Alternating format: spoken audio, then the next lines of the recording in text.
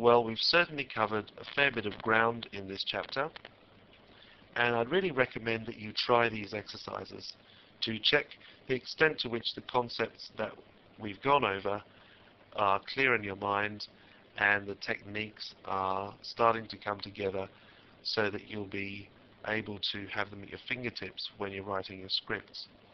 First exercise is to write a script that looks through a directory and outputs the name of each file and the first line of each file. The second script is designed to take some user input and actually executes the first script. But the user input tells the second script which directory that it, the user wants the first script to be checking. So you may well find that you'll have to modify the first script to make it work with the second and vice versa.